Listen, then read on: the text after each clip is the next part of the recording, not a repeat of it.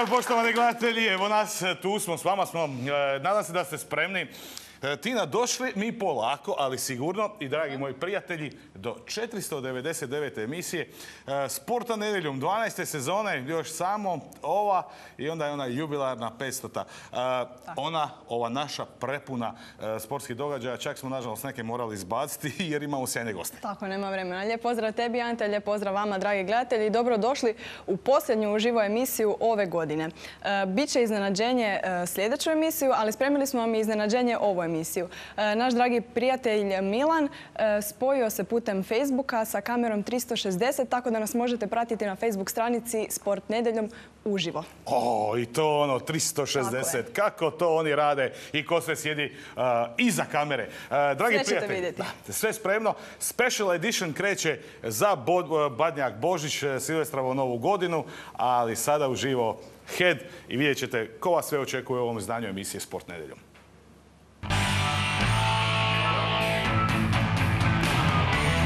499. emisiji sjajne teme, sjajne priče. Zatvaramo naš HNL sa dragim gostom iz Vinkovaca. Trener Cibalije bit će s nama, Mladen Bartolović. Puno ćemo govoriti u ovoj emisiji o futsalu, kako muškom, tako i ženskom. Kreću nam naši kauboji. Rukometa reprezentacija, cilj, Europsko prvenstvo, sam vrh. Predsjednik Saveza Tomislav Grahovac, naš je gost. Tin Srbić, naš sjajan gimnastičar, uveličat će ovu 499. emisiju svojim gostovanjem. A paraolimpijci naravno su nezaobilazan dio našeg šoa. Imamo nagrade za najvjernije, morate biti s nama i ovoga puta.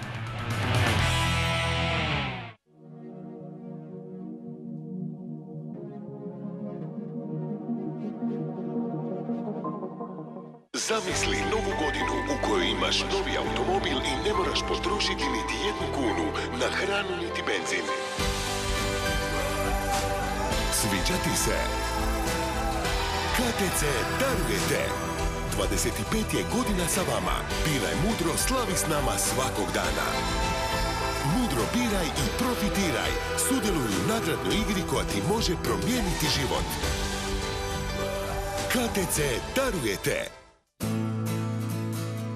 Ugodnom rustikalnom ambijentu na dvije etaže s terasom u Korčulanskoj 1 u Zagrebu. Smjestio se vaš omiljeni restoran Gladne oči na novoj lokaciji osjetit ćete prepoznatljive mirise pravog roštilja na drveni ugljen iz vlastite proizvodnje. Uz ponudu hladnih i toplih predjela nudimo čobanaste brojna jela s roštilja s velikim izborom priloga i salata. Zastupljen je i naš Jadran s ribom, s posebnim naglasom na odrezak od tune s roštilja. Sve te specialitete oplemenit će veliki izbor vina iz svih regija, uz iznimno povoljnu cijenu i na čaše. Restoran Gladne oči, Kočulanska 1 u Zagrebu organizira poslovne ručkove, večere i ostale razne prigode. Hvala vam na povjerenju i posjetite nas. Kad dođem u Gox, sjednem u svoj boks. Pogledam na šanki, kažem daj mi sok. Pogledam u nebo i zaželim si sreću. Pa možda si baš noćas odnesem kunica vreću. Ko zna, možda ne, možda da. Pa jedan lik u Goxu diko 70 somića. A ja bi tako htio da to budem ja. Gox, automat klubovima Diljem Zagreba. Okušajte sreću u Gox automat klubovima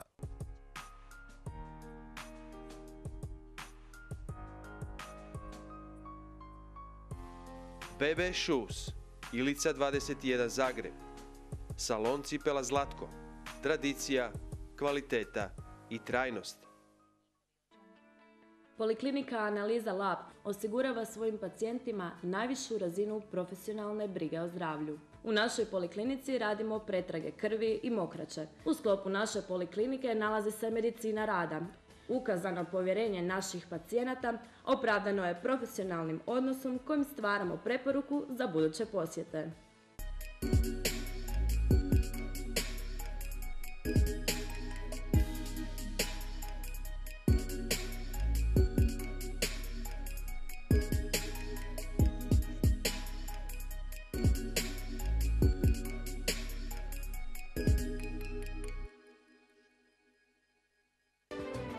Salon Point Zagreb. Sve što vaša kosa treba. Point Zagreb, Trnjanska cesta. Ja sam je gledao u svitanje dana, u tihim noćima od zvijezdanog sna. Rumenim sutonima ona me ljubi, zelenim poljima i bez dna. Ja sam je gledao kroz kapljice kiše Ona je svjetlo što me vodi kroz noć Olujnim valovima ona me njiše Ona je ljubav koja ne može proć. Ja bi ugledao sunce kad bi ugledao nju Ja bi imao ljepotu da je pored mene tu. Ja sam znao da ću svoju ljubav pokloniti njoj Mojoj lijepoj zemlji Hrvatskoj. HEP, više od struje.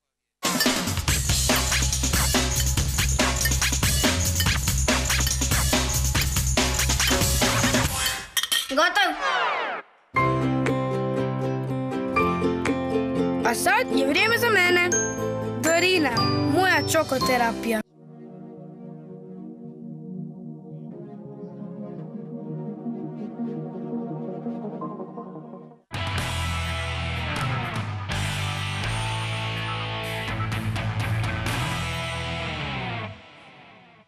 Dobrodošli nazad, dragi gledatelji, u 499. emisiju. U mojim rukama, kao uvijek, partner emisije Sportski tjednik Max, broj 360, još jedno 140 izdanja trebaju izdati da dođe na našu razinu. Naravno, na naslovnici, ko zaslužuje biti nego Lukica? Jesi vragolan, pravi si mali vragolan. E pa, e, hvala našim kolegama koji su u ovom tjednu iza nas e, iz Večernjaka napravili u ekranu jednu sjajnu priču o 500 emisija sporta nedeljom. Max će sigurni smo doći do 1500 broja, u tomu ne sumnjamo. A mi ćemo pokušati sada biti maksimalno jasni i brzi. Na početku naravno čestitati Luki Modriću. Ja mislim, dečki, da je zaslužio Luka Modrić jedan veliki pjesak. Osvojio je naslov klubskog prvaka svijeta, proglašen najboljim igračem. Isto tako čestitamo i Sandru Suknu, najboljem vaterpolistu koji je proglašen na gala večeri Hrvatskog vaterpolskog saveza. A siguran sam da će jedan od naših reprezentativaca biti proglašen najboljim igračem na Europskom prvenstvu u rukometu koji će se održati početkom siječnja. Mora biti kad imamo najbolje rukometaše. Pa, ali sa zlatom će doći. Znači zlato i onda još najbolji. Ali mi ćemo naravno do tada još puno toga pričati o našem rukometu. Za početak malo drugačije drugačije, nećemo nogometu, nego ćemo o rukometu. E, čelni čovjek Hrvatskog rukometnog saveza, naš dragi gost, još sto godina se već družimo, ali evo prvi puta onako nakon dugo vremena e, u studiju sporta nedjeljom, dame i gospodo, dragi prijatelji, nam veliki pjesak. Tomislav Grahovac! Moj prijatelju, dobrodošao, izvoli! Bravo, bravo, bravo, Treševka! I naravno, moja mala e, pogreška u startu. Naši prijatelji su došli iz nogometog kluba Trešnjevka. E, nju ćemo, predstaviti pred kraj. Ono što je najvažnije, e, Trešnjevka je jedan od naših starih hrvatskih klubova. Nekada prvoligaš u onoj bivšoj državi. E, to su bila vremena. Ali dobra vremena siguran sam doće za našu rukometnu reprezentaciju. Ona već jesu tu posljednjih oho, više od 13-14 godina, ali ajmo mi o onome što nas očekuje. Tomislav za početak zaista hvala na dolasku. Znam da je jako puno obaveza pred predsjednikom Saveza, kako organizacijski, tako i logistički. Hvala lijepo na pozivu. Ja pozdravljam sve ovdje nazočne u studiju, ali također sve vaše gledatelje koji prate svaku nedjelju vašu emisiju. Znam da je vrlo popularna i da svi koji vole sport prate vašu emisiju godinama. E, trajimo tako dugo upravo zato što se dajemo e, svesrdno svim srcem, u stvari svim našim sportskim e, granama, perjanicama. Rukomet definitivno spada u ovu sportsko nedjeljnu priču već dugih niz godina s pravom kako reprezentacija, tako klubski, prije svega zbog rukometnog kluba Zagreb. Pa znam da je, ono, rokovi su svi prošli, ali moram pitati vas, sve spremno? Pa još nije do kraja, ali bit će nemamo još puno vremena, ali siguran sam da će sve biti kako treba i da ćemo e, početak prvenstva dočekati spremni i na najbolji način pokazati svima da smo uvijek bili najbolji organizatori velikih natjecanja i da će ovo sigurno biti najbolje organizirano prvenstvo do sada. E, kao čovjek koji e, se bavi odvjetničkim poslom, ali uglavnom sportašima, bavite, se sa sportašima, čovjek koji je dugih niz godina u rukometu i kao sportaš i kao dužnosnik, sada kao čelni čovjek Saveza, e, je li e, ta organizacija, s obzirom da je, mi jesmo svjetski prvaci za odraditi sjajnu stvar, ali moramo nekad improvizirati upravo zato što nismo jedna Španjolska, jedna Francuska, mislim na novac, jel tako? E, je li bilo malo muke? Pa muke ima uvijek. Da imate ne znam koliko novaca, uvijek postoji muka kad se organizira nešto veliko, a sigurno biti domaćin i organizator Europskog prvenstva je velika priredba i e, kako vi kažete, majstor improvizacije, da, da ne znam kako perfektno posložite, uvijek ćete morati u određenom trenutku nešto improvizirati. Tako da sigurno nije lagano, velika je odgovornost, ali mislim da ćemo uspjeti sve napraviti kako treba i da ćemo svima pokazati da mi to znamo. Upravo e, o tome koliko znamo, koliko možemo, e, kakva je atmosfera s obzirom prije svega na jedan vrlo važan detalj i okupljanje naše uh, rukomete reprezentacije ovdje u Zagrebu. Lino ne, ne može dočekat. Samo zaista kratki predah uz reklame. Tomislav Grahovac, naš predsjednik Hrvatskog rukometnog saveza, došao je u studio jer sad kad ga imamo sljedeće gostovanje ćemo sigurno zakazati kad bude svijela lijepa naša u Zagrebu kad osvojimo zlatnu medalju.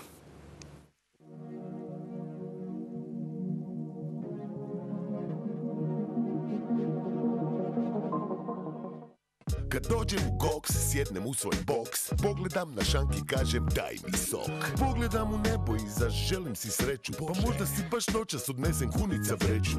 Ko zna, možda ne, možda da. Pa jedan lik u Goxu digo 70 somića A ja bi tako htio da to budem ja.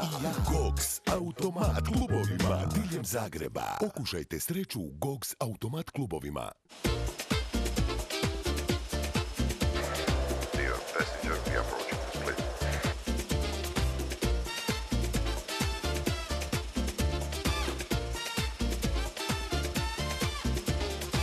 Aspira, priča vašeg uspjeha.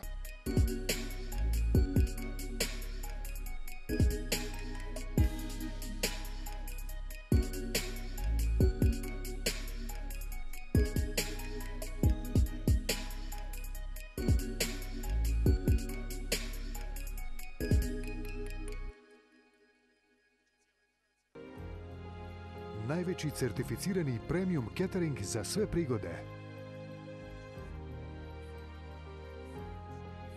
Organizacija vjenčanja, konferencija, najam, event i ugostiteljske opreme. Catering Kvatrić. Vašoj mašti dajemo okus. Zamisli novu godinu u kojoj imaš novi automobil i ne moraš potrošiti niti jednu kunu na hranu niti benzin. Sviđa ti se? KTC darujete 25 je godina sa vama. Biraj Mudro slavi s nama svakog dana. Mudro biraj i profitiraj. Sudjeluj u nagradnoj igri koja ti može promijeniti život. KTC darujete.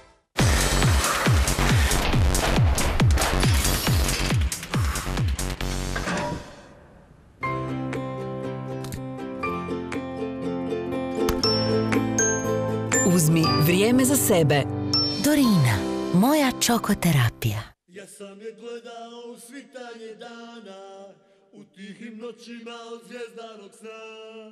Rumenim sutonima ona me ljubi, zelenim poljima i krajem dna. Ja sam je gledao kroz kapljice kiše, ona je svjetlo što me vodi kroz noć. Olujnim valovima ona me njiše, ona je ljubav koja ne može proć. Ja bi ugledao sunce kad bi ugledao nju. Ja bi imao ljepotu da je pored mene tu. Ja sam znao da ću svoju ljubav pokloniti njoj Mojoj lijepoj zemlji Hrvatskoj. HEP, više od struje.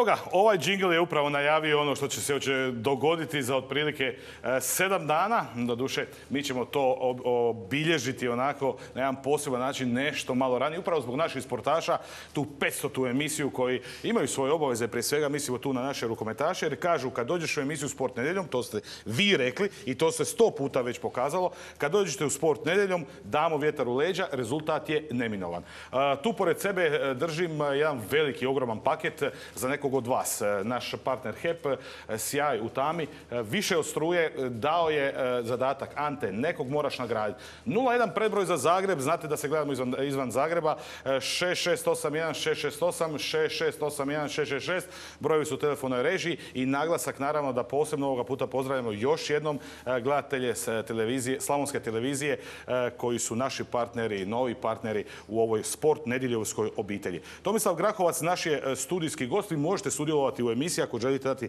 malu ovako moralnu potporu našoj reprezentaciji. E, e, rekli smo da hrvatska reprezentacija ima e, dobre preduvjete. Siguran sam da ste napravili sve da reprezentacija napravi dobre, dobre onako ove, ove prve korake za početak Ivanić, je li tako? Da. Prva i druga faza priprema su u Ivaniću do nove godine, a nakon nove godine 1. siječnja reprezentacija seli u Split i ostaje u Splitu do početka prvenstva. Na- ono što je važno reći, naša reprezentacija starta u svojoj skupini e, e, u Splitu. E, Tina, imamo poziv, nisam ni sumnjao. Halo, dobar dan. Dobar dan. Lijep pozdrav. Pozdrav vama i vašem, vašem gostu. Htio sam samo zaželiti sve najbolje našoj reprezentaciji. Sve smo, svi, svi smo za nju i samo mi jedno pitanje može li. Recite. Zašto uh, nema uh, Ivana Balića u, stu- u stožeru? Ipak je on sve dao za Hrvatsku. Da, otkud zovete gospodine? Iz Sinja. Iz Sinja. E sad će nam reći da mi imamo Sinja ni jedan drugome šaltamo. Ali, evo ovako, ovaj poklon paket e, ide za Sinj. Pa neka govore što hoće, jel može tako? Moj, hvala lijepa. Ostavite svoje podatke u režiji, šaljemo na kućnu adresu kad je Sinj u pitanju. Ako treba, ja donosim va- vašu nagradu. E, evo, predsjedniče, može odgovor. E, Kao prvo, hvala lijepo na podršci koju pružate Hrvatskoj rukometnoj reprezentaciji. Kao što i sami znate, e, prije nego što je došlo do smjene stožera koji je bio na zadnjem natjecanju, to je bilo svjetsko prvenstvo u Francuskoj, Ivano Balić je bio tada koordinator i nakon što se promijenio stožer prvenstveno izbornik, novi izbornik je birao suradnike i izabrao svoje suradnike. Dakle, njegova je volja bila s kim će surađivati. E, Ajde sad kad govorimo o ovim našim e, recimo to zaslužnim i- igračima. Vidim polako ulaze u rukomet sve ve- više i više. Govorimo kroz i bilo mlađe kategorije, bilo seniore kroz e, Hrvatsku rukometnu ligu. Pa evo sad vidimo i Zlatka Saračevića kako lijepo je preuzeo žezlo i nekako mi se čini da je sa aklamacijom to prihvaćeno od strane publike nekako ono neka naš je, naš je konačno, e, e, jer kad kažem naš mislim naše reprezentativce. E, I, i hoćete li se potruditi pod vašim ravnanjem da se ne dogode situacije e, da u nogometu nema dovoljno nogometaša, recimo košarki, košarkaša. Mislim, ne kažem da ih nema, ali da se neke stvari iz povijesti ne ponavljaju.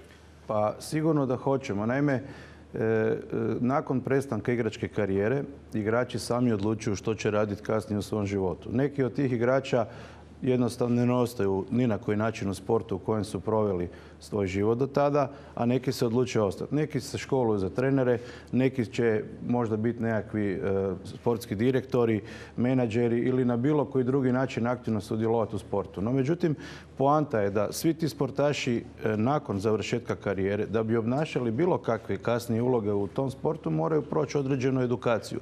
Za sve je potrebno znanje, jer jedno je igračko znanje, a jedno je znanje biti trener ili rukovoditi sa nekakvim klubom, sa nekakvim drugim organizacijama. Prema tome jednostavno svaki od njih mora biti svjestan činjenice da bi mogao doći na nekakvu drugu poziciju, mora se za to školovati. Evo, to je vrlo jednostavno. A mi ćemo sigurno dati potporu i priliku svima da se iskažu na tim nekakvim novim pozicijama. E, To govorimo zato što je ne tako davno na vašem mjestu sjedio Stojko Vranković, naš proslavljeni kapetan i koji kad je govorio o organizacijskom dijelu, odnosno koliko je to ipak malo drugačije kad te neko vodi u odnosu kad ti moraš voditi. Pa ogromna je razlika, to uopće nije sporno. E, zato što e, ti kad si igrač imaš samo fokus na to da budeš spreman za trening i da budeš spreman za igru. A e, već kad postaješ trener, ti imaš skroz drugu ulogu. Dakle, drastično se mijenja situacija. A na sve to kada moraš postati nekakav sportski direktor ili direktor nekakvog kluba ili još više možda u, nekakvoj, u nekakvom savezu ili negdje moraš imati i određena teoretska znanja, nekakvu školu za to, ali moraš i, i znati te poslove valje. Dakle, velika je razlika biti igrač i biti kasnije u sportu kroz ove druge funkcije. 26 dana nam je ostalo do početka Euro smotre, poštovani gledatelji. Dok malo sad pričamo o našoj reprezentaciji, neka odemo u kadrovima polako da, da uživamo u punoj dvorani koja je bila kad je naša reprezentacija posljednji puta igrala protiv reprezentacije Slovenije. Evo to su ti kadrovi jer oni ti, ti kadrovi daju malo, malo tu energiju. Dok pričamo i pozivamo vas gledatelji da možete sudjelovati u emisiji. Tomo, možemo li komentirati malo skupinu? Dati onako komentar tog splitskog, splitske grupe E, svi se nekako uvijek pale, naravno uvijek na ove naše susjede i tako dalje, ali imamo onako zeznutu grupu, nije baš to tako. Pa inače je karakteristika Europskog prvenstva da ovdje ima sigurno 10 do 12 reprezentacija koje svaka svaku može pobijediti u bilo kojem trenutku. Dakle, europsko natjecanje je puno jače nego svjetsko prvenstvo ili olimpijske igre, ali tamo uvijek imaš barem dvije reprezentacije protiv kojih možeš malo komotniji biti. Ovdje nema opuštanja niti jedne sekunde.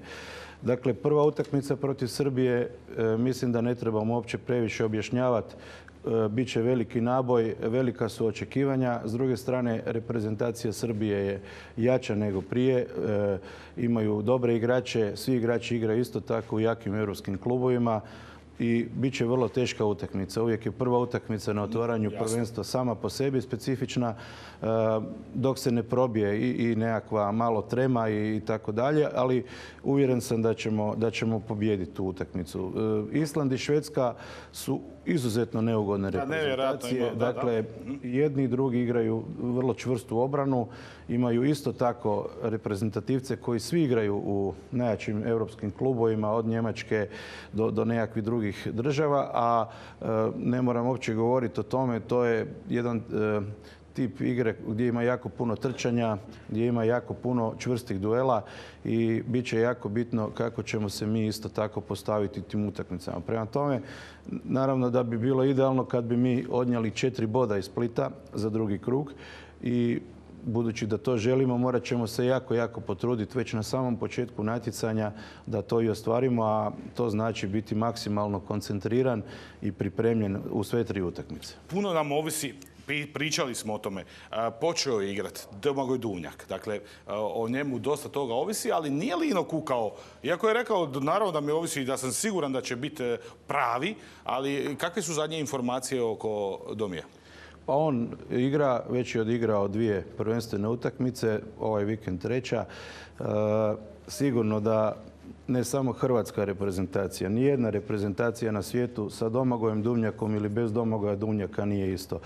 Domagoj Duvnjak je, ako ne najbolji, onda među par najboljih igrača na svijetu i to mislim da, da uopće nije upitno. Njegova pojava na terenu već angažira dva ili tri obrambena igrača koji moraju gledati šta će on napraviti. On je, kad igra Domagoj Duvnjak, igra cijela reprezentacija. E, ali ne samo u napadu, nego i u obrani. Velika je sreća za nas da se pravovremeno vratio na teren i ja mislim da bi on baš mogao biti u idealnoj formi u siječnju i e, da bi on mogao biti taj koji će vući reprezentaciju cijelo vrijeme.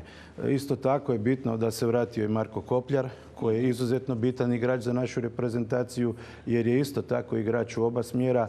Pogotovo u obrani je desna strana puno čvršća i sigurnija kad Marko igra, a e, bit će bitno još da nam se i Marino Marić oporavi, jer će onda biti posloženo sve i samo da se nitko od postojećih koji su zdravi ne ozlijedi. E, nula je... znaju trešnjevački mališani osjetiti kad treba dati podršku. E, Tomo, e, ja sad molim samo da mi odgovoriš sa da i ne, jer to da ne idemo u, dubinu, jer moramo dati podršku našoj reprezentaciji. E, kad gledamo roster koji je tu, je li to po tebi, po vama, najboljeg što Hrvatska trenutno ima. Je. U redu. To, to mi je bilo važno, jer e, svaki ima neko svoje mišljenje, pa da ne bude, e, ja bi zvao ili bi trebalo i tako dalje i tako dalje. Favoriti se na neki način znaju. Spektakl zajamčen u gradovima e, koji će biti domaćini e, europskog prvenstva. Hrvatska reprezentacija će, sigurno će učiniti sve da dođe do onog trofeja koji joj nedostaje, a to je ta zlatna medalja, iako ne smijemo, evo ja ću to preuzeti na sebe, pa ću kazati da ne bih htio stvarati nekako i prije samog natjecanja pritisak na e, našu izabranu vrstu, ali tehnički dio. Kako teku e, pripreme, odnosno prodaja ulaznica? Što je s njima? Pa, e, dvorana u Splitu je rasprodana za Srbiju i to već prije ne znam koliko, tjedan dana, deset dana. Mislim da je još nešto sitno karata ostalo eventualno za Island i Švedsku. Prodaja ide jako dobro, što je i očekivano gdje god igra hrvatska reprezentacija, uvijek će biti puna dvorana. No, međutim, ono što naročito raduje da se jako dobro prodaju ulaznice za ostale dvorane u kojima naša reprezentacija ne igra. Mislim da bi ovo moglo biti prvenstvo sa najviše gostujućih navijača. Imamo izuzetno velik interes e, sa e, tržišta u Danskoj, u Norveškoj, u Njemačkoj, pa naši susjedi iz Slovenije, e, iz Mađarske, veliki interes je u Makedoniji, Francuzi, Austrijanci, tako da gotovo svi gradovi e, ima- će imati jako, jako puno ovih stranih navijača i mislim da će biti sve dvorane pune gotovo cijeli turnir. Imamo poziv i onda imam pitanje e, koje može će vjerojatno definitivno biti za kraj, ali ćemo ga malo proširiti jer je e, vezan upravo za dolazak gostujućih navijača. Dobro. Halo, dobar dan. Dobar dan, čujemo li se? Varaždin Nikola zove. Bok Nikola. E, Bog, Bog. Lijep pozdrav vašem gostu i puno uspjeha u organizaciji ovog prvenstva. A jedno pitanje za ovoga naš, našeg, odnosno vašega gosta, da se baš ne ide toliko u, u, u- to očekivanje da se ne vrši pritisak na reprezentaciju, mada smo svjesni svi vrijednosti naše reprezentacije, ali ipak da budemo malo ovaj, umjereniji u tom najavljivanju toga, jer znamo da će svi naši reprezentativci ostaviti ovaj, sve na, terenu ovoga, da bi postigli ono što svi želimo, a to je zlatna medalja. Pa evo, samo da zaželi puno, puno uspjeha našim reprezentativcima i u organizaciji. Hvala, hvala Nikola, hvala Nikola. I nekako mi se čini kao da smo postali oni vidoviti Milan, mi djelujemo na vas, ono nemojte, nemojte, nemojte, ali e, da, ali svjesni su reprezentativci i predsjednik na čelu e, Rukometnog saveza, sigurno da e, su stremljenja visoka. Halo, u programu ste još jedan gledatelj i zaista ćemo onda morat e, malo primiriti jer ode vrijeme. Halo, dobar dan dobar dan. i vama. Josip je pri telefonu.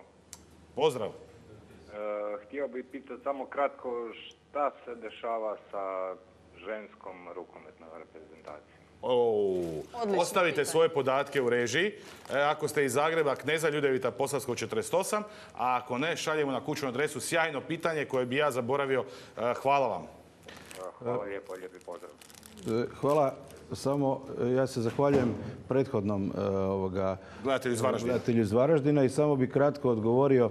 Dakle, ja ne znam e, ako sam možda stekao nekakav krivi dojam, ali doista nitko ne radi nikakav... Ne, sa- o, o- o ambi- ambijentu je govorio generalno, generalno. Dobro, ja bih htio reći, dakle, barem što se tiče e, nas u Savezu, apsolutno nitko ne radi nikakav veliki pritisak na, na reprezentaciju, a to što smo mi Hrvati uvijek navikli prvi euforični. i jedino nam je zlato bitno, to je nešto drugo. No, međutim, ja svejedno ću reći da Hrvatski rukometni savez, odnosno Hrvatska muška rukometna reprezentacija je svjetski brend i uvijek treba težiti e, i biti najbolji. A to je inače i prirodno u sportu. Ko se bavi sportom, svako želi pobijediti i svak želi biti prvi. Mislim da je to prirodno svakom sportašu da mora biti najbolji. Ako se to i ne dogodi, neće se nikakav smak svijeta dogoditi, neće se ništa negativno dogoditi.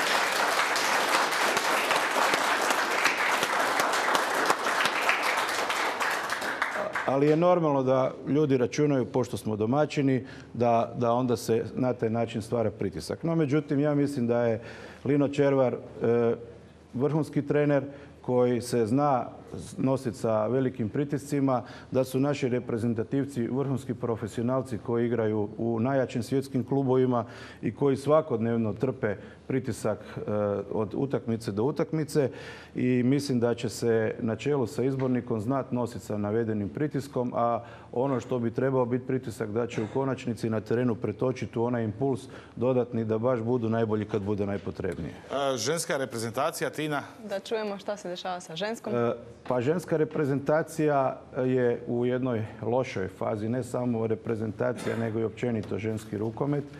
I nedavno smo imali jedan panel na kojem je- sam baš upravo govorio o tome kako je u narednom periodu jedan od osnovnih ciljeva rada Hrvatskog rukometnog saveza vraćanje ženskog rukometa na one grane na kojima je nekad ženski rukomet bio. Dakle, ima niz što objektivnih, što subjektivnih razloga zašto se to dogodilo sa ženskim rukometom. Mislim da je ovo prekratka ovoga, epizoda u ovoj vašoj emisiji da bi sad elaborirali sve te razloge, ali evo mogu gospodinu samo reći da ćemo se potruditi da u što skorije vrijeme ženski rukomet vratimo na ono mjesto na kojem je nekad hrvatski ženski rukomet i bio. Preduvjet, pred... preduvjet naravno je i dolazak e, iskusnog trenera Nenada Šoštarića. E, Za kraj da e, zaista se držimo e, ritma i tempa. Spomenuli ste sjajan, odaziv na Europskom prvenstvu već sada kad su ulaznice i kupnje ulaznica u pitanju od strane navijača koji neće pratiti hrvatsku reprezentaciju, znači domaći, nego i će dvorane biti pune i utakmicama drugih reprezentacija.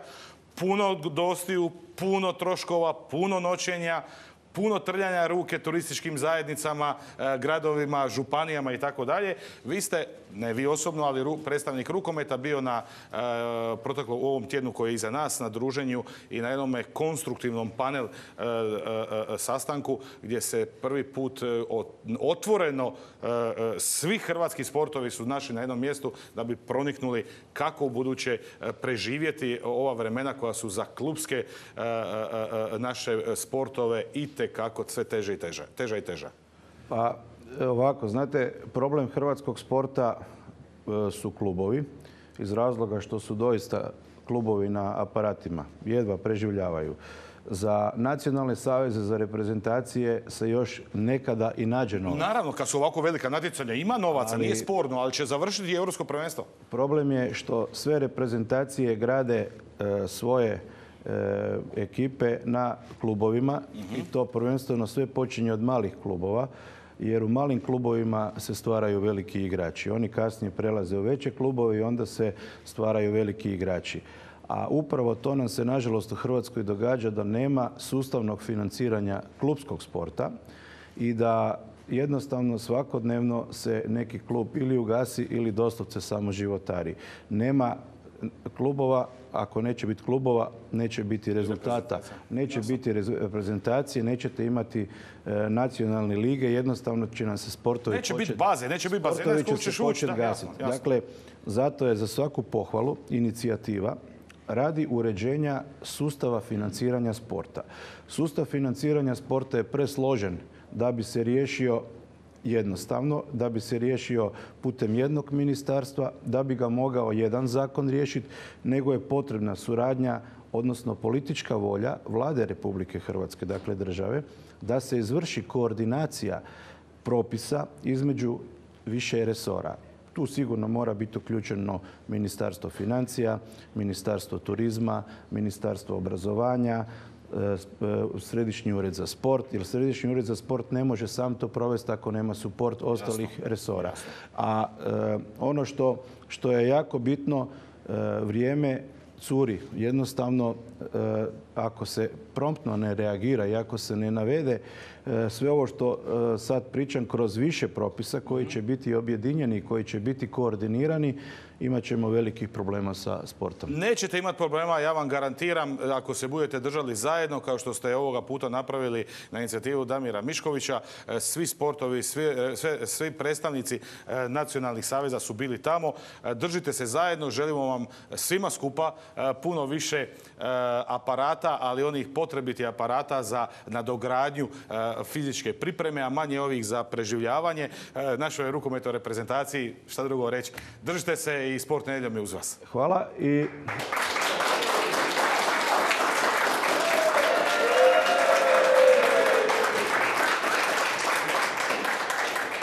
Ja bih još samo iskoristio priliku da se u ime Hrvatskog rukometnog saveza i u svoje ime zahvalim i e, svim onima koji su nas pomagali za organizaciju ovog prvenstva. Dakle, konkretno prvenstveno tu mislim na vladu Republike Hrvatske, Središnji ured za sport, bez čijeg suporta mi ne bi mogli organizirati ovako veliko natjecanje.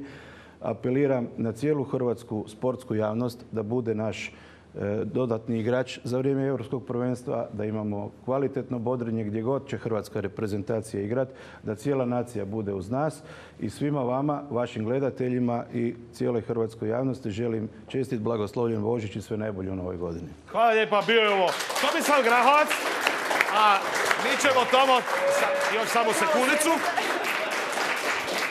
ići dalje s emisijom. Prva Hrvatska nogometa liga, dvije utakmice. Dinamo Cibalja 1-0, Istra Osijek 1-1. Odgođena utakmica zbog prekrasnog terena u Koprivnici između Belupa i Lokomotive. Hajduk Inter, Rijeka Rudeš e, će tek odigrati utakmice. Ajmo vidjeti kako je Dinamo nam jedite jade na muku dobio e, Cibaliju 1-0, iako je bio apsolutno dominantan. A onda i čućemo izjavu naravno trenera Dinamo, a nakon toga ulazi nam Vinkovački gost, e, trener Cibalije Mladen Bartolović. Mario, nakon vatrometa protiv Istre, sad smo se vratili na ono izdanje protiv Intera. Opet je Dinamo dugo lomio, 20 udaraca, 10 u okvir, 17 kornera i jedan gol.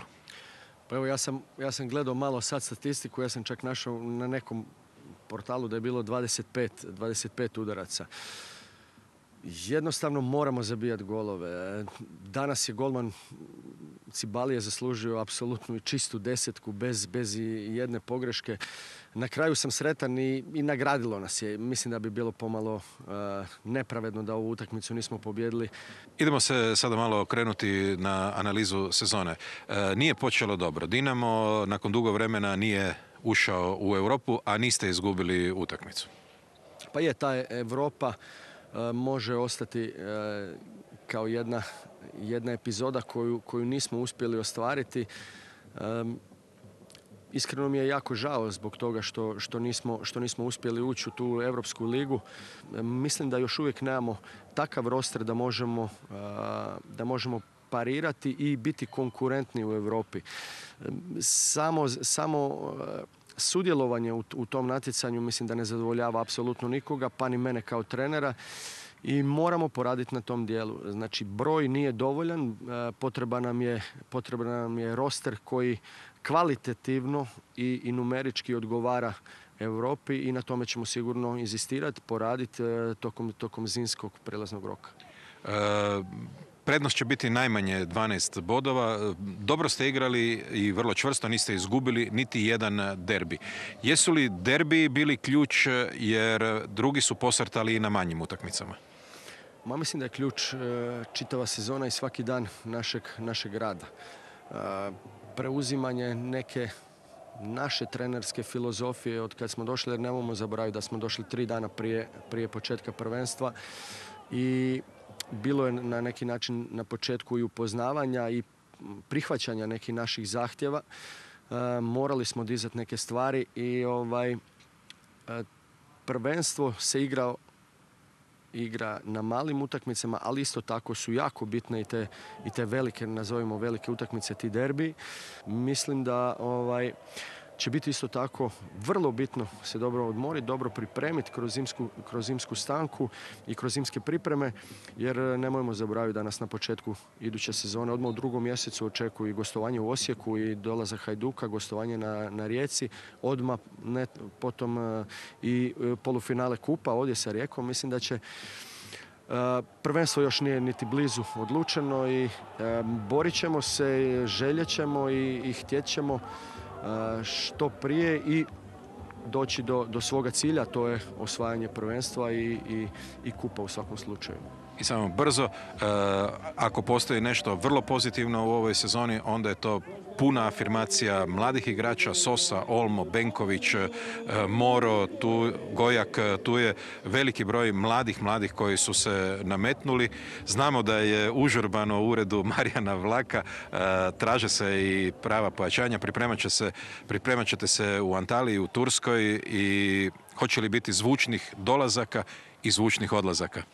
Definitivno e, moramo i trebamo biti bolji, neće nas e, zadovoljiti ovih 12 bodova prednosti. E, želimo biti bolji u svakom segmentu i naravno i pogled na zapisnik i pogled na roster daje nam, daje nam za pravo da se jednostavno moramo, moramo, moramo pojačavati ako želimo biti, ako želimo biti bolji.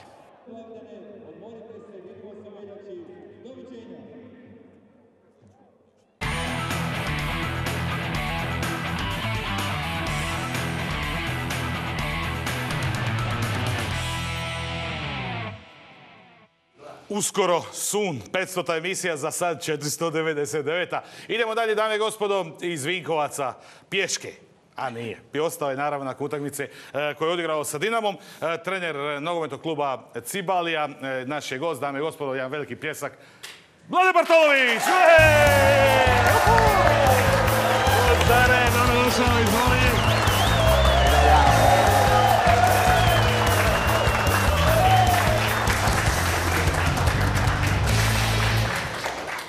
Kaže meni e, naš prijatelj Mladen Bartolović, znamo se sto godina, koji je dress kod? Ma dress kod je dođi, daj da pričamo, lako ćemo mi za dress kod. Dress kod je ovo što imaš ponosno na sebi, Hrvatski nogometni klub Cibalija. mogu li e, čestitat na e, dobrom otporu Dinamu, iako naravno kad izgubiš, vidio sam malo prije tvoju reakciju, e, izgubili zadnji trenutak. Komentar? E, dobro, evo, prije svega veliki pozdrav tebi, Tini i svim, ovaj, svima vama u studiju, naravno i gledateljima e, ove emisije i naravno veliki pozdrav, nadam se, budućim nadama nogometnog kluba Trešnjevka. Nikad ne znaš, nikad ne znaš kad bi mogao do Cibalija završiti. Pustiti to, to je prva liga. Ovisno koliko će ja biti trener u e, ovaj, pa dobro, evo, prije svega, sigurno da je način na koji smo izgubili, s obzirom da smo skoro 80 minuta izdržali, odoljevali Dinamo, znali smo da je Dinamo kvalitetnija ekipa, što je pokazivo na, na terenu, od prilika, od šansi. Naš vratar je bio na visini zadatka, stvarno jako dobro odradio utak, međutim, ostaje žal da je ostalo još tih 10 minuta, da smo možda mogli izdržati, da smo se iz Maksimira mogli vratiti sa, sa bodom. Međutim, evo, nismo uspjeli, nismo se, što bi se rekli, ovaj, osramotili s obzirom da zadnje tri utakmice koje sam ja bio na klupi smo od Dinama primili 15 pogodaka, zabili samo dva, jučer je završilo 1-0. Ne volim izgubiti, nevezano kako, koje ime protivnika sa druge strane, ali evo, mislim da ovu sezonu smo završili porazom, ali mislim da nismo u stvari polusezonu porazom, ali mislim da nije bila neuspješna. E, imamo pitanja za e, našeg dragog prijatelja. Vratit ćemo se u studio doslovno za dvije i pol minute. PP, Mladen Bartolović, trener e, Vinkovačke Cibalije, koja naravno muku muči upravo vizavi ove teme koje je rekao predsjednik Rukometnog saveza financije.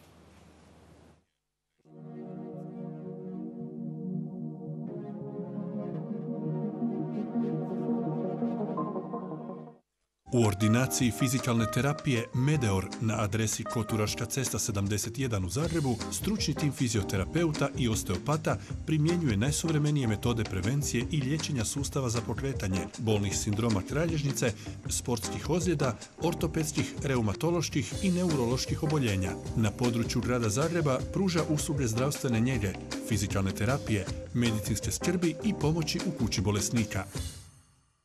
Zamisli novu godinu u kojoj imaš novi automobil i ne moraš potrošiti niti jednu kunu na hranu niti benzin. Sviđa ti se? KTC darujete. 25 je godina sa vama. Biraj mudro, slavi s nama svakog dana. Mudro biraj i profitiraj. Sudjeluj u nagradnoj igri koja ti može promijeniti život. KTC darujete. Novotvoreni hostel Zagreb u jugozapadnom dijelu grada nudi vrhunski smještaj za najbolju cijenu. Pogodan za sportske grupe, Hostel Zagreb ima sve što vam treba. Potpuno nove sobe s privatnom kupovnicom i besplatnim internetom. U sklopu je i bar, a ugodno osoblje pružit će vam najbolju uslugu. Odaberite s razlogom. Vaš Hostel Zagreb. Koji je učinak vitamina B5 na primjeru jedne zanimljive zajednice? Postanite alfa mužjaci. Svježa doza vitamina. CD Vita. Smith Commerce, centar za prodaju građevinskog materijala, alata, sanitarija, vodovoda, keramike, grijanja, elektromaterijala, boja i lakova. Krojimo po mjeri podsinčane rešetke i gazišta, a osigurana je i dostava. Potražite nas u prodajnim centrima na Velesajmu, Stupniku i Petrinji. Sve za gradnju i opremanje, vaš Smith Commerce. Putujte sigurno i bezbrižno uz putno osiguranje. Sretan put želi vam Jadransko osiguranje. Ja sam je gledao u svitanje dana, u tihim noćima od zvijezdanog sna. Rumenim sutonima ona me ljubi, zelenim poljima i beskrajem dna. Ja sam je gledao kroz kapljice kiše, ona je svjetlo što me vodi kroz noć. Olujnim valovima ona me njiše, ona je ljubav koja ne može proć. Ja bi ugledao sunce kad bi ugledao nju, ja bi imao ljepotu da je pored mene tu. Ja sam znao da ću svoju ljubav pokloniti njoj, mojoj lijepoj zemlji Hrvatskoj. HEP, više od struje.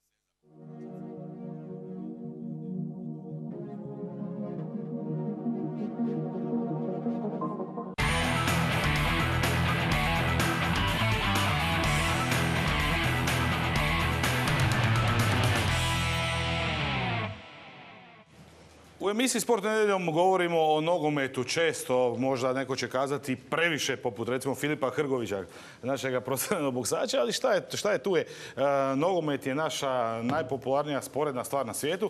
E, Mladen Bartolović, trener e, Hrvatskog nogometnog kluba Cibalija, naš je gost. Mladene, pogled na ljestvicu sugerira da je borba neminovna praktički do zadnjeg e, onako slučaja Zvizduka pretpostavljam će tako biti. E, Istra 17 bodova, Cibalja 17 bodova, Rudeš 12 utakmica manje. E, u intervju koji si dao neposredno nakon, na, na, nakon utakmice rekao si moram najprije vidjeti ko će zbog odlazaka kojih je jako puno bilo ovo ljeto ko, i koji su sad to izgurali ovu polusezonu, ko će ostati, ko može eventualno doći, moram sjesti sa upravom, moram vidjeti koje su mogućnosti, ali napravio si usporedbu, ali u sličnoj smo mi situaciji kao Istra. Pa da, mi je možda ne toliko da se kroz medije ovaj, imponiramo, tako da ovaj, pokušao sam to koliko toliko sa strane ostaviti, to su igrači dosta dobro prihvatili, ja smatram da mi to bio još, jedan, još jedno opterećenje i ne volim na takve stvari se izvlačiti. E, volim da igrači budu maksimalno koncentrirani na utakmicu, iako je to jako teško kada ti cijeli tjedan živiš sa problemima i onda dođe subota utakmica, nismo mi šta ja znam šalter pa sada tikneš sad ćemo igrat pa ćemo onda opet 7 dana u problemima. E, e, nije, nije, nije situacija ovaj, lagana, tako smo nažalost i počeli, odnosno završili onu prošlu sezonu, počeli novu sezonu gdje je otišlo 21 igrač, Naravno, treba biti iskren, nisu trebali svih 21 ostati, ali većina igrača je trebala ostati praktički taj jedan kostur momčadi. Došlo je 15 novih igrača, sve se to trebalo igrati, novi su, neki nemaju ni prvoligačkog iskustva, tako da bilo je tu dosta problema, zato i smatram da ovo bodova koliko smo uspjeli skupiti, smatram da nije neuspjeh. Moglo je to bolje, ja se slažem da je moglo i bolje, ali nažalost moglo i puno gore. Ali ono što vas karakterizira, eh, koliko možemo poloviti u sportu nedjeljom i nismo najsavršeniji, ali e, kad vidimo rezultate, pa malo vidimo izvještaje, pa malo pročitamo, pa neku sliku dobijemo. Dosta bodova ste vi, recimo sa pet gostovanja po bod. Kad, bi čovjek gledao tri boda kući i jedan vani, ti si u borbi za kupu EFA. To bi bilo idealno, to bi bilo idealno. Pa ja sam rekao i kad sam došao, evo, kad sam preuzeo u Cibalu, kad smo se borili prošle godine, kad smo uspjeli izboriti ostanak, svaki bod je bitan. Nije bitno, evo mi da smo uzeli po meni neka, ajmo reći, dva propusta smo imali protiv Intera Istre doma. Tu da smo uzeli po bod, njima bi oduzeli dva boda i već bi bili u puno boljoj situaciji. Tako da po meni je svaki bod izuzetno bitan. E, Tu smo gdje jesmo. Ja smatram da ćemo kroz ovu pauzu se uspjeti još bolje u svim segmentima popraviti. E, Proći pripreme, kako bi rekao, kompletni, da neće biti nekih problema, da ćemo Da se uspjeti igrači otići. upoznaju, da se upoznaju. Da ćemo uspjeti otići na pripreme i ja vjerujem da će to na proljeću onda puno bolje izgledati. Znači želja je negdje Medulin, Međugorje, a, Pa vidjet ćemo sigurno neke toplije krajeve. Nadam se da nećemo ostati na, na ledu i snijegu. samo da je otići u Antaliju, a? A valjda ćemo mi to doživjeti, kažem. Ovaj. To će se- Pa dajmo podršku našim vinkovačkim prijateljima. Normalno da će otići. Jer sam odlazak na pripreme, to jako puno znači igračima. To je ipak 10 dana gdje su oni svi zajedno skup, skupa, režim hrane, p- treninga, odnosno prehrane treninga, e, odmora i to sigurno puno znači. E, Prije što odemo na utakmicu Istra-Osijek, samo da vidimo e, kratko kako je to izgledalo, ovaj, samo možda jedno pitanje, nisi, e, neću politiku u moju butigu, ali daj mi reci, e, za razliku od Istre, koja mi se čini da nekako lokalna zajednica, e, nekako, ne znam koliko oni to baš doživljavaju, čućemo nešto malo kasnije od Darka Rajića Sudara, kako Vinkovci ko grad e, i ljudi koji vode grad, ka- ka- ka- kako osjećaju probleme e, Cibalije? Pa ja, ja sad moram biti iskren, ne znam kako vam odgovorio na to pitanje. Nažalost, bilo je, bilo je stvarno puno situacija gdje smo praktički ostavljeni sami. Ne mogu ja reći da ljudi ne rade. Sad pitanje e, kolike su njihove mogućnosti, da li mogu financijski to sve popratiti. Nažalost, e, problemi se samo gomilaju i gomilaju iz godine u godinu. Nije ovo sad samo ove sezone, to, to je već unazad, ne znam, 5-6 godina neke stvari se dešavaju i guraju se pod, pod tepih. E, Jednostavno moram negdje stati. Praktički, mi- na- na- nama je bilo sad idealno da mi samo stanemo negdje. Da više ne padamo dole i da onda probamo ići gore. Prošlih godina smo govorili, hvala Bogu da se Osijek dogodio u ulagači u Osijek i pro, prošlih godina smo govorili Cibalija, ono, druga liga, Osijeku prijetila, druga liga, da će Slavonija ostati bez prvoligaša, a mi ćemo sad otići e, do e, Pule da vidimo kako je Istra oduzela, ja bih rekao, dva boda po zasluženo ekipi Osijeka, e, s čime se Istrijani e, e, muku muče, čime muku muče i ono što je najvažnije, ni Novigrad koji u drugoj ligi ne stoji dobro, Istra stoji tako kako je, prijetili u stvari Istri sudbina, odnosno regiji Istre je sudbina ono što je nekad bilo oko Slavonije. Zorane, posljednja utakmica u ovoj kalendarskoj godini upozoravali ste da bi domaći mogli biti iznimno motivirani. Na kraju se to i ostvarilo, gubili ste, uspjeli doći do 1-1, imali više pokušaja, čak i više od igre, ali niste došli do tri boda. Pa dobro, ja sam znao da će Istra biti danas u ovakvom izdanju, ali kad imaš manjak kvalitete ili manjak sredstava, onda probude se neki inat u tebi, tako da ja im čestitam na današnjoj igri. Što se tiče nas, mislim da smo mogli prvo s malo mirnoće, s malo više pameti, sa točnim pasom ispred gola, zabiti dva, tri gola, nismo uspjeli, dobili smo presmiješan gol iz auta na totalnu dekoncentraciju nekih naših igrača, ali sve u svemu, evo, pošto počeli smo negdje početkom šestog mjeseca, toliki broj utakmica, toliko svega, moram zaista reći da sam sretan da je kraj ove polusezoni. Klubovi slabije kvalitete protiv Dinama, Rijeke, pa čak i Hajduka, manje više to odrađuju onako što naprave, naprave protiv nas još uvijek napaljeni, smatraju da mogu nešto napraviti, tako se i pokazalo. Jednostavno mi moramo napraviti još jedan određen zaokret, mislim da smo izvukli maksimum, mislim da smo već dugo u crvenom i ako želimo, očekivanja su od nas sve veća i veća, koliko to realno ne znam, tako da moramo neke stvari popraviti, moramo neke stvari, moramo se pojačati svim, na svim razinama i malo početi još ozbiljnije raditi ako želimo biti u vrhu hrvatskog. Moram reći da nam je neko rekao sve šta će nam se desiti u ovih par mjeseci da, da bi prihvatili beručke tako, ali moj posao je takav da nosi neko određeno prokletstvo sa sobom. Sve što napraviš, dobro, vrlo brzo se zaboravlja. Ako to nisi u stanju ponavljati, već dođeš pod, pod uh, znakove upitnika, ali mislim da evo imamo sad dovoljno vremena i da moramo se malo skupiti i I na kraju naravno cilj za, za proljeće, cilj za završetak, za drugi dio sezone. Pa cilj je biti što više u vrhu, normalno izboriti Europu. Ja na našim razgovorima u klubu bilo je da ponovimo sezonu od prošle godine što se tiče plasmana, da izborimo Europu, normalna stvar. Evo sad mislim da sam vidio toliko dobrih stvari kod nas da samo moramo još napraviti taj jedan is- iskorak da to ponavljamo što češće i da budemo što više napravimo. Znači opet jedan korak više od, nas pro- prošle sezone.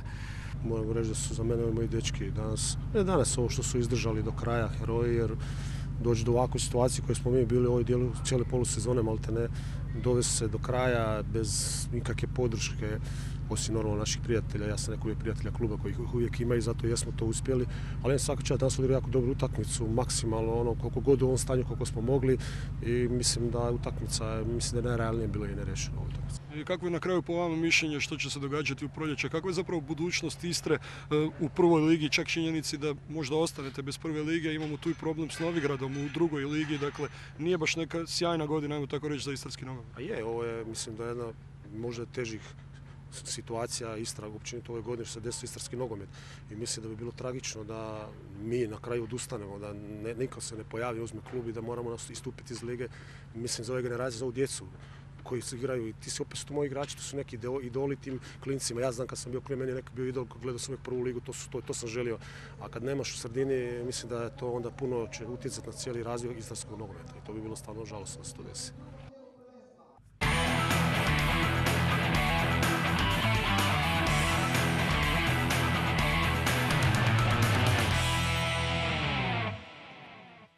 Mladen Bartolović, naš je e, studijski gost, trener e, Hrvatskog nogometnog kluba Cibalija. E, Evo, malo smo čuli Osijek, malo smo ču- čuli Istru, teško je sad to nekako uspoređivati probleme i tako dalje, ali ja bih volio da režija da pustite ako je moguće. Samo jedan mali filaž pa ćemo malo ja i Mladen prokomentirati. Filaž koji je pokazuje stanje naših terena u Hrvatskoj nogometnoj ligi posljednjih tjedana, odnosno mjeseci, praktički od prvih kiša.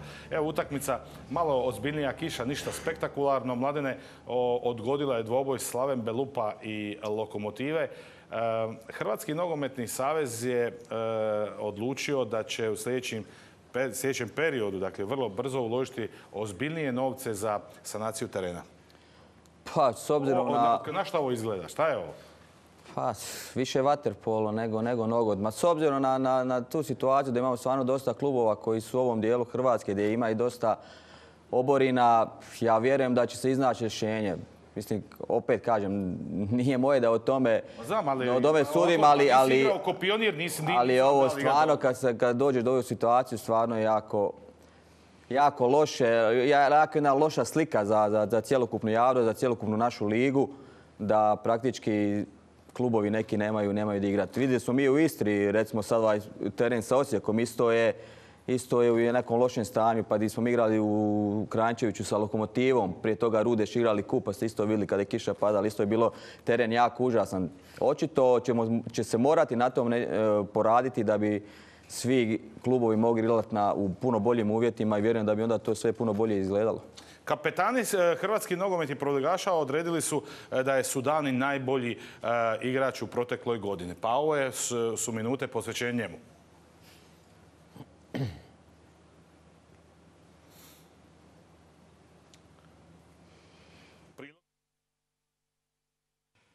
El Arabi Hilal Sudani, Dinamov napadač, proglašen je najboljim nogometašem godine u anketi koju je te portal proveo među nogometnim kapetanima 15. godinu zaredom. Naslov najboljeg igrača Hrvatske Telekom prve lige, alžirski je reprezentativac i napadač modrih ponio sa 24 boda više od drugoplasiranog Filipa Bradarića. Danas već tradicionalnu anketu te portal.hr je proveo među svim kapetanima klubova prve Hrvatske Telekom lige, a najbolji igrač odabran je temeljem zbroja njihovih glasova. Prije nego što je Sudani naravno zahvalio zbog glasova, novinari su ga podsjetili da su taj naslov osvojili do sada Niko Krančar, Eduardo da Silva, Luka Modrić, Mario Mandžukić, Samir Leon Benko, Andrej Kramarić, Marin Tomasov, Franko Andrijašević. Kako ja reći, e, baš mi je drago pobijediti one. Prije mene je bio jako odlično velika igrača Hrvatska i sad e, ja sam zadnji sad su dani pobijediti. Baš mi je drago. Da, naravno, ja sam e, puno sretan zbog e, nagrad. Ja zahvalim svi kapitanski u prva liga na Ozbornik i hvala još jednom svi igračima Dinama i svi ljudi koji e, pomoć su dani. Ja hoću biti najbolji strelec. Ja sam radi sad na trening i svi igračima sad pomoć su dani za biti najbolji streljac u, ligi. Ja sam sretan sad. Imamo 11 golova i hoću još zabiti više golova ova sezona. Imamo velika ambicija i moramo pobijediti prvenstvo i kup i, i koncentracija za Europski liga prvaka ili Europski liga i moramo biti. Igramo Europi, Europski sljedeći sezon. Sadani, samo još jedno pitanje. E, Alžirci su poznati da su ponosni narod, da vole svoju državu i reprezentaciju. Sad kad imaš i hrvatsku putovnicu, jel ti malo žao što si... to, je, to, je, to je najlakše pitanje. to ne mogu da govorim. da, ja sam Alžirac i volim Hrvatska isto. Ja sam pet godina tu. Na kraju kažemo da ovu tradicionalnu predbožićnu nogometnu priču u uvertiru brojnih nagrada koje slijede do kraja kalendarske godine sjajno organizira i osmišljava i podiže svake godine na sve veću zavidnu razinu nogometnih svečanosti novinar te portala Silvio Škrlec i njegov tim.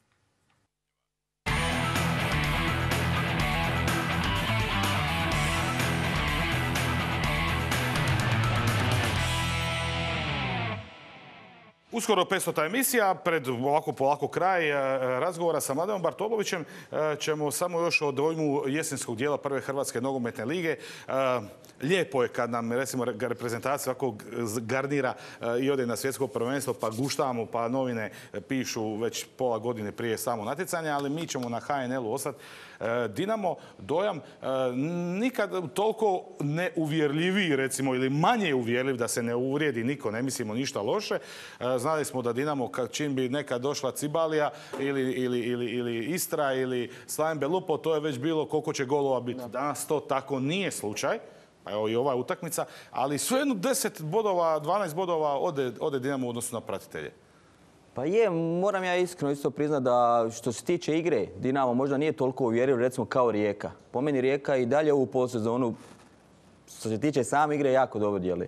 Međutim, rezultat je ne prati. Da li ona više se skoncentrirala na Europsku ligu da prođe tu skupinu, pa je malo ovaj, zanemarila prvenstvo.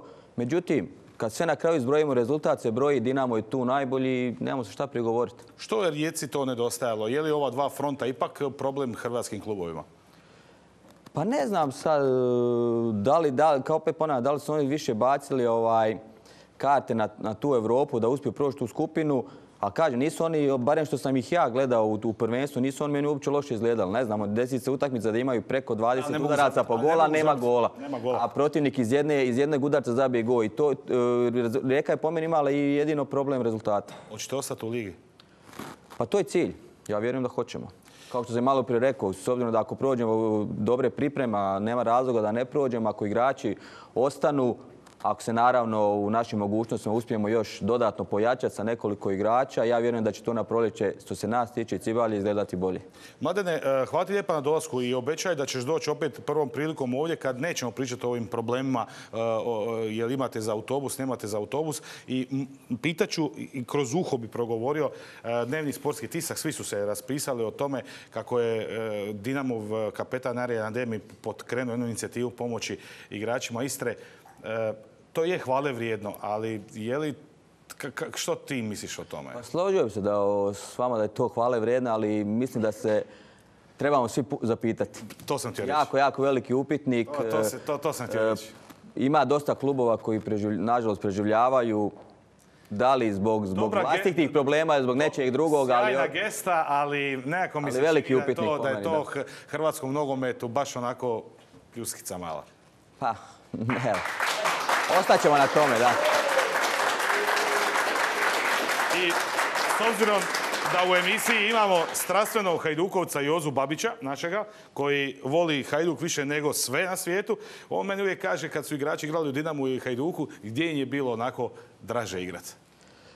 Pa meni je bilo i u Dinamu i Hajduku moram priznati. Jedno što sam u Hajduku proveo e, tri godine, u Dinamu sam bio godinu dana i u Hajduku sam više igrao, tako da moram priznati da mi je, moram priznati da mi je Radio si one lažnjake, poznate. Ali iznad svega, iznad svega Cibale je na prvom mjestu. Cibal je na prvom mjestu. Mladene, hvala ti lijepa e, na dolasku.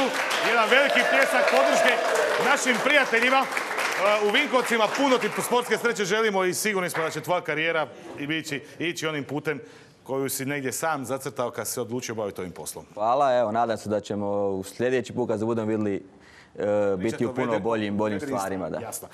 Sport nedeljom prati i futsal. A, jesenski prvak je futsal Dinamo i to nakon što je slavio u Makarskoj protiv Novog vremena. A onda ćemo nekada veliki derbi a, Split Tomi protiv Nacionala 5-0 a, dobio Split. Sve to imamo u sljedećim minutama. Malo ćemo o ženskom futsalu, odnosno turnirima malog nogometa u, u okviru Winter Kupa. Počeo je i evo najjači malo nogometnih turnira u Križevcima. Sve to na jednom mjestu sportu nedeljom. Utakmicom novog vremena i futsal Dinama odlučivalo se koji će klub biti jesenski prvak prve Hrvatske malo nogometne lige. Makarani su htjeli tu titulu, htjeli su je s druge strane i Zagrebčani. Svi igrači su bili na raspolaganju i jednom i drugom treneru. Domaćini su krenuli furiozno po pobjedu. U prvom poluvremenu su bili uvjerljivo dominantnija momčad s mnoštvom prilika, izdvojit ćemo neke. Na primjer u četvrtoj minuti Dudu je pucao pokraj gola, to je u stvari bila i prva prilika na utakmici. Nakon toga u desetoj minuti Vuković je uzeo jednu loptu, Osredkar je izašao jedan na jedan sa Škorićem koji mu brani udarac, a nakon toga Čekol blokira na odbijenoj lopti. Još u posljednjoj minuti prvog poluvremena Bajrušović je vrhom noge pokušao sladati Škorića, ali vratar futsal Dinama još jednom je sačuvao svoju mrežu netaknutu. U drugom poluvremenu futsal Dinamo je izašao čvrši, kompaktniji i napadački orijentiraniji nego u prvome i to se primijetilo na terenu. Polagano su počeli i modri prijetiti, izdvojit ćemo prvo u 29. minuti jednu brzu akciju Škorića i Capara, Kanjuh je uzdrmao vratnicu. No onda u istoj minuti futsal Dinamo stiže do vodstva. Čekol je dodao jednu loptu Kanjuhu koji fenomenalno lobom svladava Filipa Baškovića. U 36. minuti futsal Dinamo je poveo s 2-0. Bio je udarac iz kuta, Grbeša je dodao Kanjuhu koji gotovo s centra zabija za 2-0. Kanjuhu je to bio peti pogodak protiv novog vremena u karijeri, čime predvodi listu najboljih strijelaca u međusobnim dvobojima ta dva kluba. Nakon toga Teo Strunje je uveo u igru Marina Musinova kao golmana igrača, ali to se nije pokazalo presudnim u ovome susretu jer je već u 36. minuti Matošević pogodio praznu mrežu za 3-0. Tu brojčanu premoć iskoristio je tek Kazazić u 37. minuti i privremeno smanjio na 3-1. Nastavili su Makarani napadati, ali onda u 39. minuti Capar presjeca jednu loptu i postavlja konačnih 4-1 pobjeda za futsal Dinamo i Zagrebčani se kite titulom jesenskog prvaka Hrvatske. Nismo valorizirali naše prilike, nismo zabili. Drugo smo ušli s puno pojedinačnih grešaka što su oni na kraju iskoristili. Čestitam još jednom. Ovo je u stvari jedan poraz iz kojega možete mnogo naučiti, sezona je još duga, naravno vi se ponajprije spremate i za taj playoff. Tako je, sad nam slijedi stanka koju ćemo iskoristiti da se što bolje pripremimo za drugi dio koji nam je, koji je bitni i koji nosi trofeje i nadam se da ćemo kraju digniti jedan, ako ne dva PH. Prvo polovrijeme je bilo malo ratnički s naše strane, nije lako tu doći pobijediti. Mi smo to znali, postavili smo se čvrsto na početku da se oni malo ispušu, čekali smo to drugo polovrijeme i tu smo onda pokazali da imamo možda malo više snage, spremni smo bili i na kraju mogu reći da smo zasluženo pobjedili. Daleko je još, daleko je kraj sezone, još ima i play-off, ovo ništa ne znači, ali je znak da dobro radimo, da dobro treniramo, da tako moramo nastaviti i onda se ne bojimo.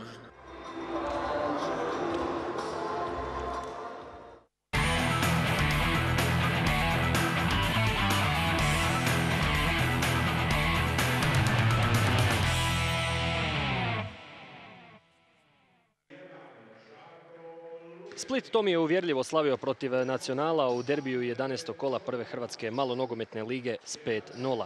Za razliku od prošle sezone kada su ova dva kluba odlučivala o pobjedniku kupa i prvenstva, ovaj susret su dočekali Split na trećem mjestu, a Nacional na petoj poziciji. Što se tiče Spličana, nije bilo dvojice već duže odsutnih ozlijeđenih igrača, Matea Fideršeka i Mare Đuraša. S druge strane, Nacional je gotovo u potpunosti kompletan došao u Split. Jedino tu nije bilo Čika, Pajalića i Vuka. Prvi pogodak stigao je u četvrtoj minuti, udarac iz kuta izveo je Čorluka, a donedavni igrač Nacionala Tihomir Novak zabio je za 1-0. U 11. minuti Spličani su vodili s 2 naprema 0. Nakon jedne kontre Novak je odlučio pucati i zabio je svoj drugi pogodak na susretu ukupno peti ove sezone. Do poluvremena uspjeli su Spličani još jednom zabiti 3-0. Strijelac je bio Suton, ponovno je u pitanju bio prekid, ovaj puta out, ponovno je asistent bio Čorluka. Odmah na početku drugog poluvremena Split Tomi je postigao i četvrti pogodak. Povukao je kontru Tešija, ubacio za Novaka, a njegov udarac se nekako od vratnice i igrača nacionala otkotrljao u mrežu. Točku na i u 27. minuti svojim drugim pogodkom postavio je Josip Suton. Perić je lijepo asistirao kapetanu Split Tomija koji je postigao svoj ukupno 12. pogodak ove sezone. Split Tomi tako odlazi s ova tri boda na zasluženi zimski odmor, dok će u nacionalu imati jako puno posla ako žele imati kvalitetnu ekipu koja će napasti naslov prvaka na proljeće. Od početka do kraja mislim da smo odigrali utakmicu kontrolirano onako kako smo i zamislili. Na kraju uvjerljiva pobjeda, mislim da je publika mogla uživati, da je bilo e, jako dobro s naše strane. Tako da sad očekujemo utakmicu između Makarske i e, Dinama, da vidimo na kraju hoćemo li biti lideri na polusezoni ili ne, ali mislim da smo svoj posao napravili, tako da idemo mirno sada na praznike i nastavak u drugom dijelu sezone, naravno ono što smo za šta se i pripremamo, a to je naslov prvaka. S obzirom na zadnje kolo da su već e, naši stranci na nekom odmoru i s obzirom na naše stanje sada u momčadi definitivno nije ono lako, ali moramo naglasiti da je Split e, odigrao stvarno jednu jako dobru utakmicu. Mi nismo bili danas konkurentni. Možda na početku imali smo par šansi gdje je to njihov vratar Luketin zaustavio i tako da šteta ostaje samo na tome što smo nismo pružili dostajan e, otpor Splitu ili možda zabili koji gol pa da se malo zakuha i kod 1-0 smo imali par šansi, ali definitivno ovoga Split je unio više i želje i žara u tu pobjedu i na kraju ovaj rezultat ne čudi, iako moram biti malo razočaran s obzirom da smo došli tu pokušati iznenaditi Splita, ali u ovom trenutku mislim da je Split puno, puno bolji.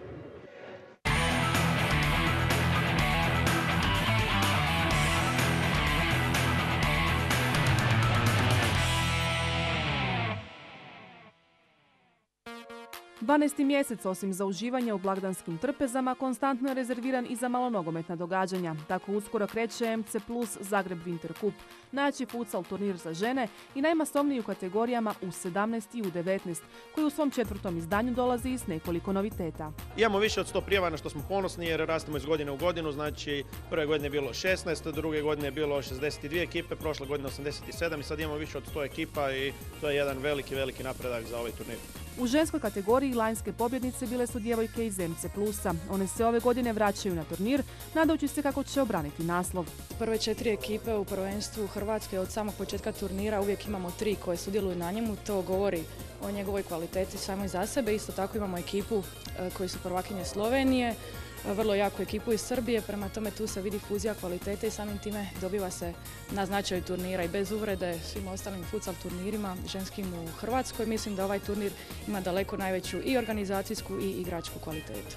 Sama pomisao na Winter Cup uvijek budi pozitivne emocije.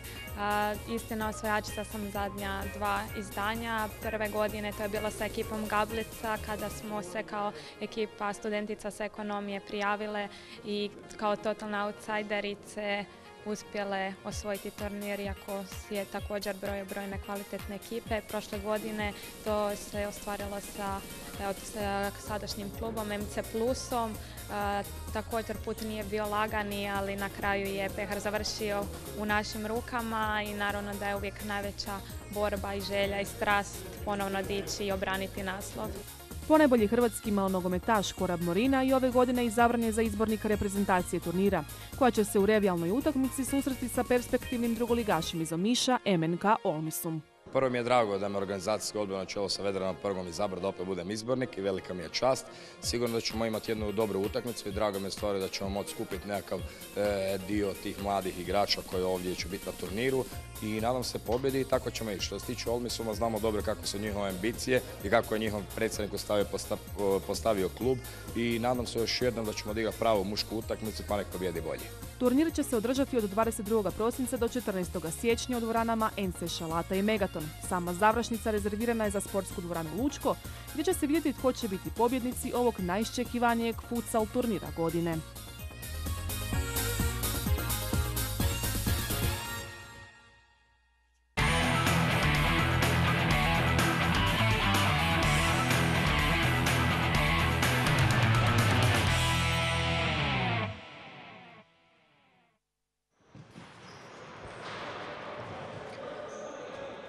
Dragi gledatelji, sport nedjeljom ne djeluje samo na području Zagreba, već na području cijele Hrvatske. Pa smo mi tako odlučili skoknuti do Križevaca gdje se održava 19. po redu malonogometni turnir.